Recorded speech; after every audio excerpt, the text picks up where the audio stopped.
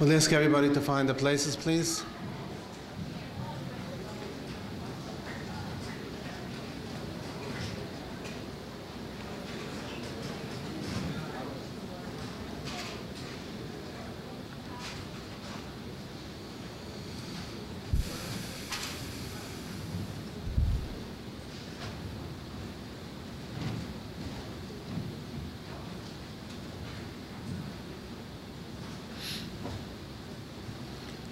Before we go to our next session, we will have the privilege to hear from Dr. Scott.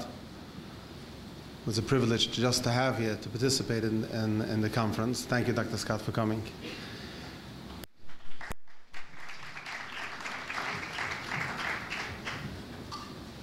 And before I call up Rabbi Unger, I think most, almost everybody here knows who Rabbi Unger is and his devotion on both sides, on the medical side and the halachic side, how devoted he is. I just wanted to thank him personally for his devotion to A-Time to the couples and the amount of time and effort he gives to each couple to help them in their journey. So thank you, Rabbi Unger. And on that note, I'd like to call up Rabbi Unger.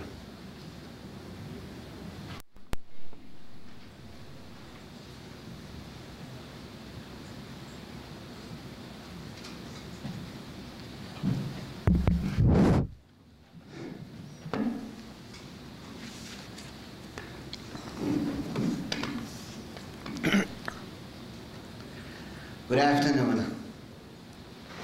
It is a great schus and kavod, a privilege and a humbling honor to address the esteemed doctors, my, my fellow A-Time staff members, and of course, each and every individual that makes up the A-Time family. The title and name of today's talk is An Ancient Torah in Modern Times. We were represented this morning with a wellspring of information. Some of us were introduced to new and exciting technological innovations, while others reiterated what modern medicine has to offer.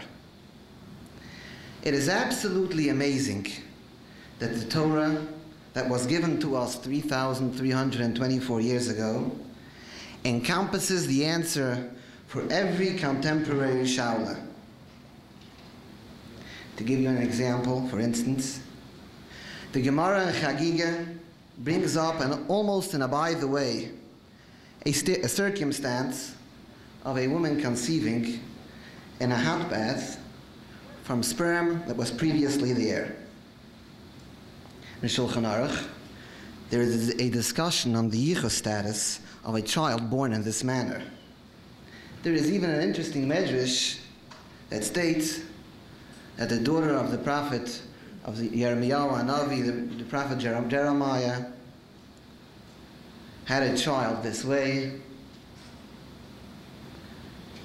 And he, he was a great Talmid Chacham and authored a book called Ben Sira. Ben Sira, liter- literally the son of a tub.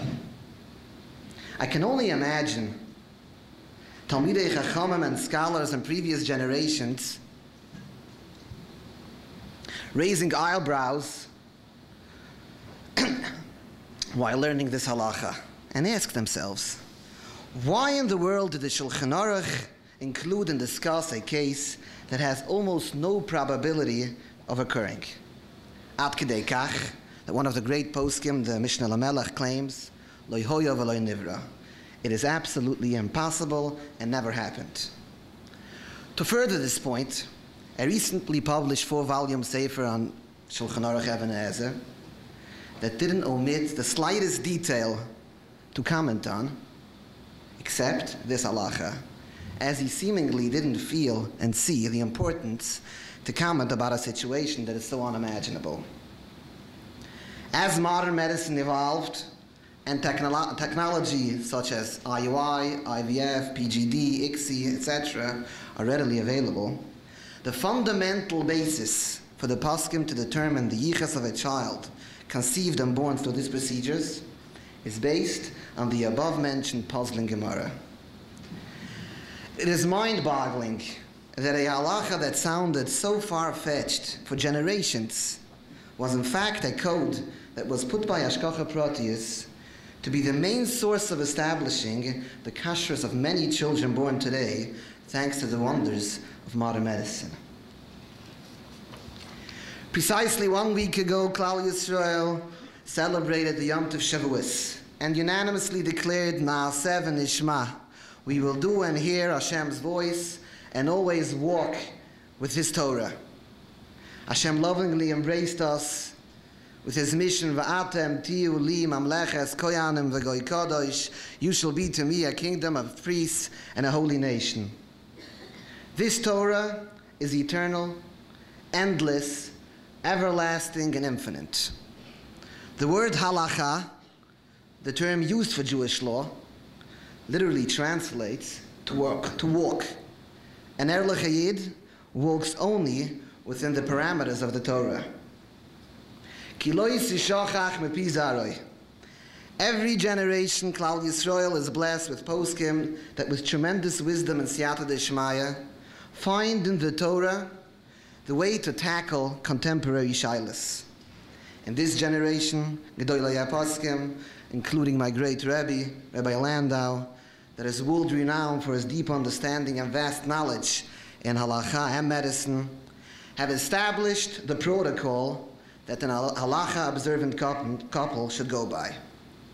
The shilas that are nageya for a couple confronting the maze and confusion of infertility or high risk OBGYN are complex, difficult, and extensive. To name just a few, thanks. Surgery on the male reproductive organs that is done not in accordance with halacha can have weighty consequences. The shaila of producing a sample for semen analysis or IUI, IVF, touches upon an issue that the Shulchan Aruch exclaims that it's chamor mikol isurim shabatoyre transgression that is very serious.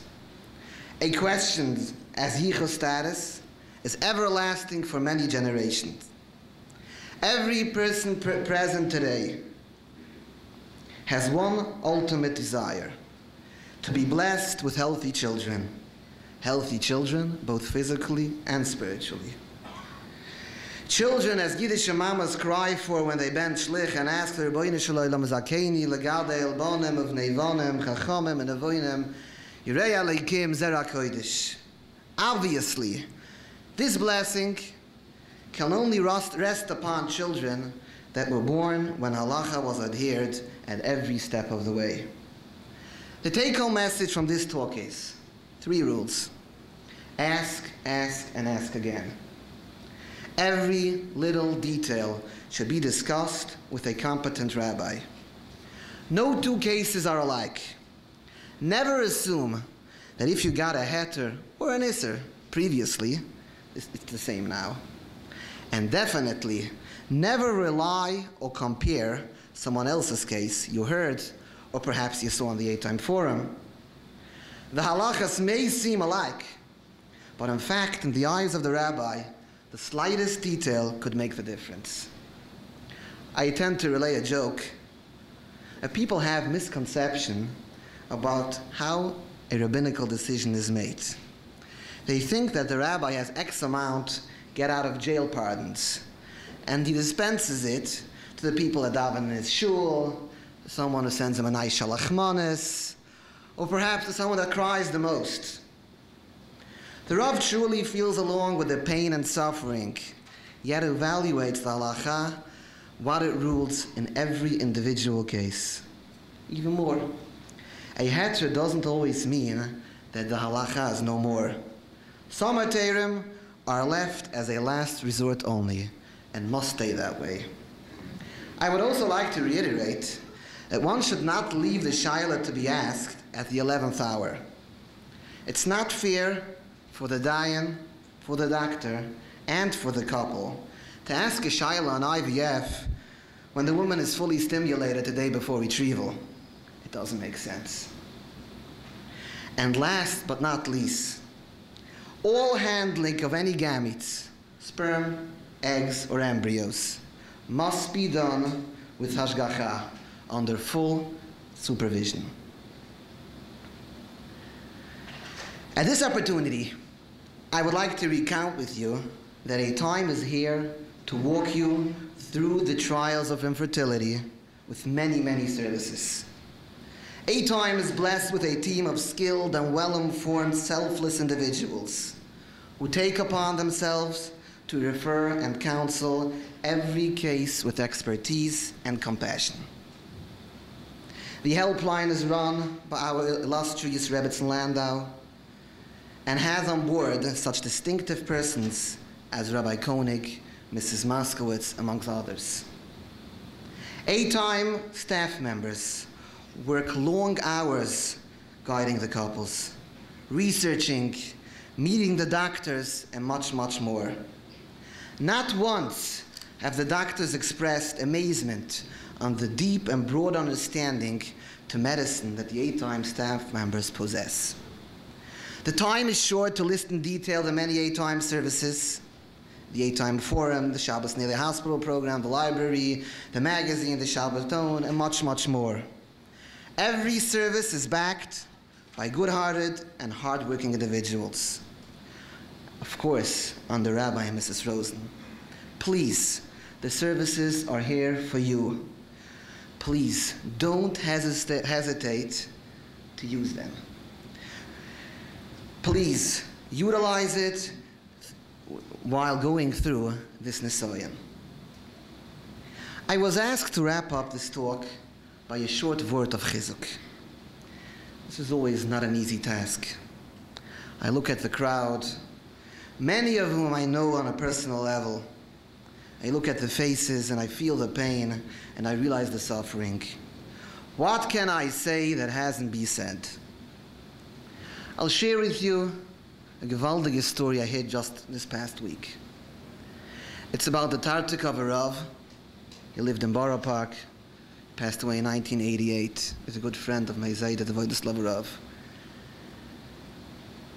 In, this story happened in the war and the Holocaust, 1944. He was in a bunker in Budapest, and Pesach came around and he had to lead a Seder, and he, and he led a Seder in, in, in the bunker. And he said a gewaldige Wort. It's gewaldig not only of, of the word itself, but at the time when it was said. He asked as follows. We say in the Haggadah, we say, Matzah zi shani oichlem al shema, Pesach zi shani oichlem al shema, Morar zi shani oichlem al shema. It's not in the chronological Seder. First, we should have asked, Moros Zushani Oichlem, not Matzazi. So we answered this. While a person is going through his moror, while it's still the time of moror of bitterness, we don't ask any shilas. The question of moror zu shanu oichlem can only be asked when we sit at the Seder with matzah and Pesach.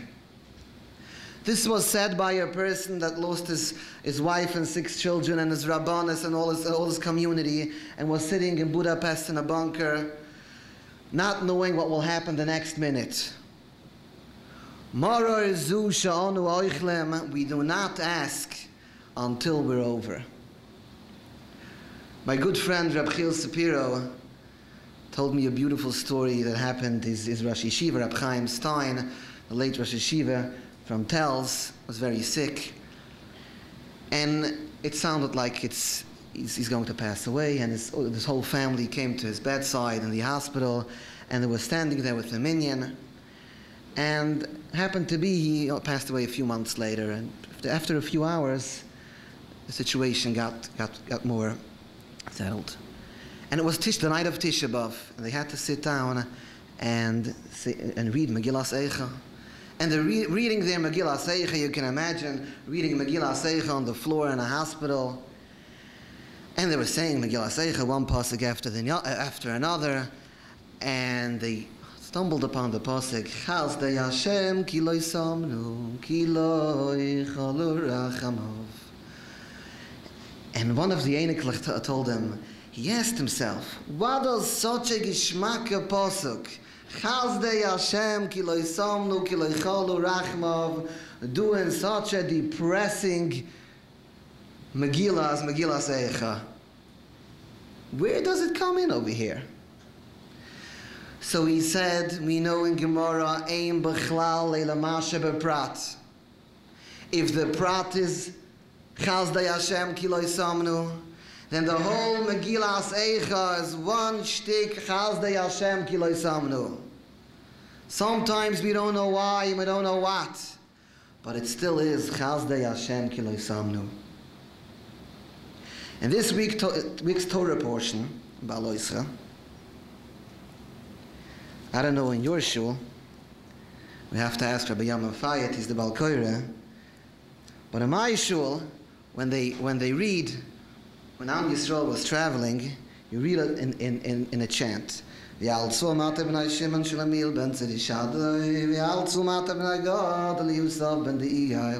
same thing in Parshas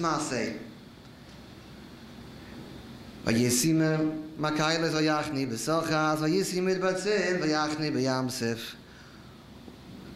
Everyone understands why the Shira is, is, is, is, is read in a song. It's a Shira, it's a poem, it's a song. How come the traveling of Am Yisrael, what's so significant about it? What's the song? Is, is, is, is it a, it's a celebrating event? What's the song? Am Yisrael was in the desert.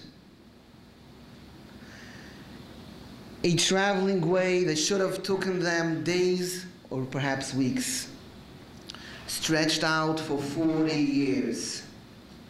Mem Beis Masois, 42 stations. Am Yisrael stopped. They had Shisha Bekera Sechat. Every fertility doctor would be fired for making Shisha Bekera Sechat. But they had Shisha Bekera Sechat, Kinder and Rinder, and they have to take the tent apart and pull it back, um, build it back, and they had no way of knowing when are they going to arrive at their destination. Wandering in the desert in the blazing hot sun, Am Yisrael was wandering, but they were wandering with song.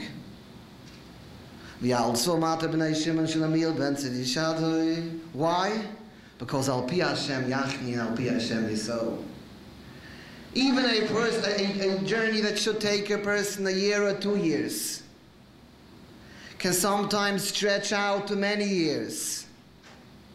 It's the journeys will still be made and traveled with song. Why? Al Pi Hashem Yachnu, Al Pi Hashem Yisrael. Everyone is going to reach the destination. After 10, 11 days or 40 years, no one knows. But if it's Al Pi Hashem Yachnu, Al Pi Hashem we walk it with a song. Every time you wake up in the morning to see the doctor, every time you have to take a shot, a small shot, a Ghana left shot, a progestin shot, a Lovenox shot, at every negative test, at every loss, at every bad remark you hear. It's one massa after another massa, one station after another station. But it's Al Pi Hashem Yachnu, Al Pi Hashem and therefore it should be sang with song. Sometimes you go to Makelas. You come to a gathering and you walk out besachas depressed.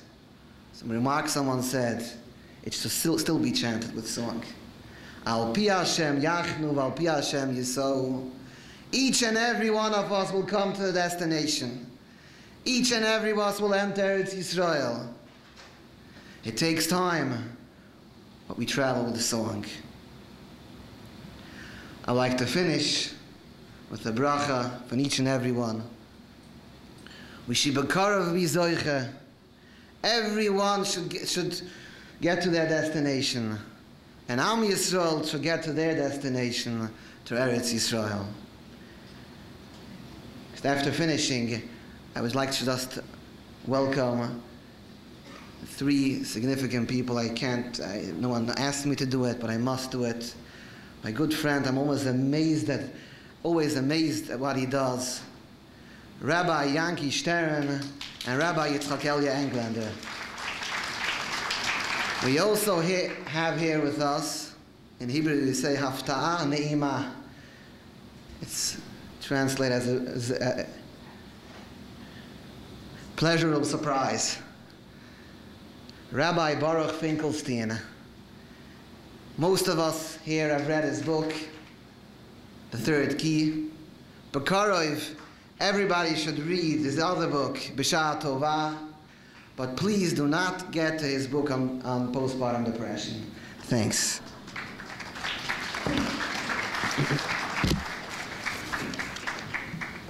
Wie Scott?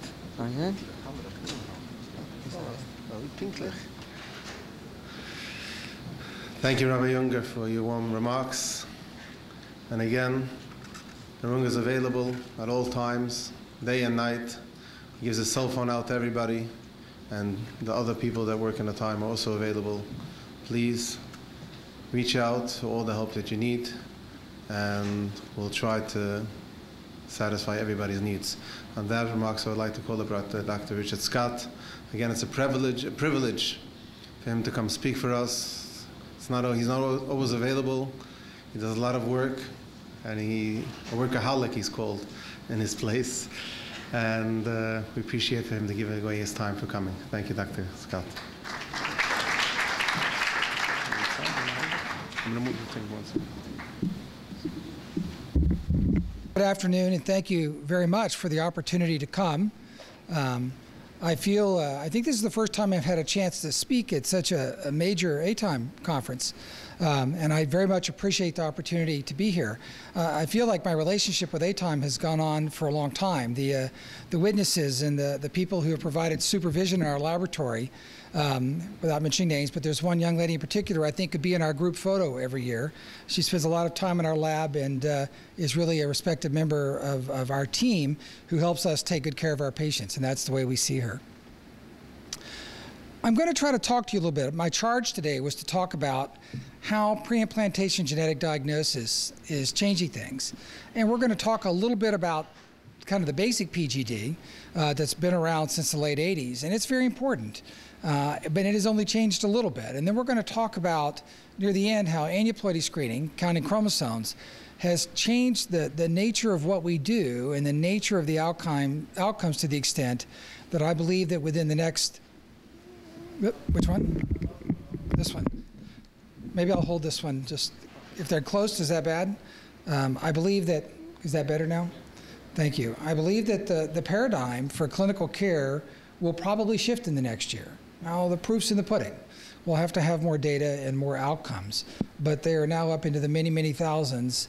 Um, and I think that uh, this is worth thinking about together as a group because it will impact uh, your community as it certainly is impacting our community. One thing you need for PGD, one thing you need for any kind of genetic diagnosis is genetic material. And today, the only place you can get genetic material, which is representative of the embryo, is from the embryo itself. And so we have to biopsy the embryo. And there are three fundamental times you can do that. Up at the very top, um, you can see, I'll use this, a, uh, polar body. Now, this just gets genetic material from the egg, but has been championed oops, by a number of groups for a very long time. In the middle, you can see a day three embryo or a cleavage stage embryo and you can see a cell coming out of that. That tends to be one cell out of eight in an ideal circumstance, but commonly one cell in seven, six, or even five.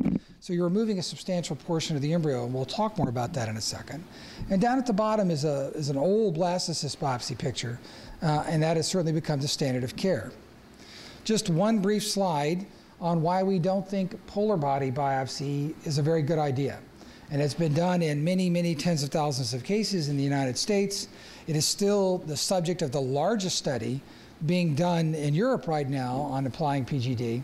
Um, but we don't think it will lead to at least an ideal end. It's not that the information is not useful, It is just that it is potentially misleading, which I think is very, very important. This is an example of a case, and I apologize for the very small graphs, but it's really just there to remind me to tell you that when you get a polar body, there's two of them. And in different circumstances, they should have what's called reciprocal errors. If you find too much in one place, you find too little in the other, and that should, in fact, be very reassuring. But of the different ways that, that this shuffling of genetic material occurs, as the body goes through the natural process of an egg, going from a full set of DNA, 46XX, that's why young ladies are young ladies, to a half set that is now ready to receive the DNA from the sperm and become the new embryo and hopefully the new person, you can actually have two different abnormal polar bodies, two different abnormal extrusions of material, and still end up with a normal embryo. The take home message for that is that when you get abnormal results on polar body biopsy, those embryos are classically discarded, and that may not be safe. The, the bottom line is, is a very substantial portion of those embryos, perhaps a third, perhaps 40%, actually do not represent an abnormality. They represent a normal embryo. And so I no longer believe that polar body biopsy has any contemporary role in reproductive medicine, and I believe that is true today. That leaves us two other options. We can go through the classic paradigm. In the roughly 100,000 cycles of PGD done in Europe, about 88% of the biopsies have been done at the cleavage stage on day three. Less than 0.2% have been done at the blastocyst stage over time. So, how do you know if it's safe? We have asked this question for years.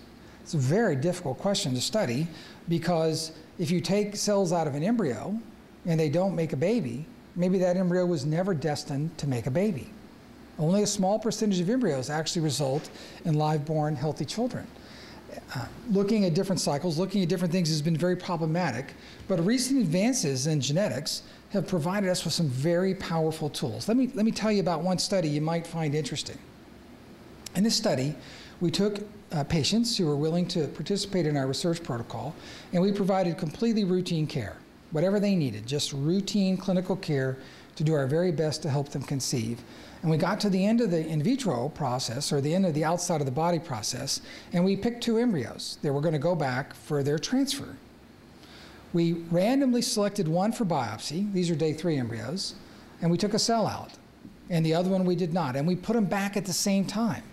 So then the two embryos go back in the uterus. So they're, at the time of the transfer, there's one that's been through biopsy and one that has not.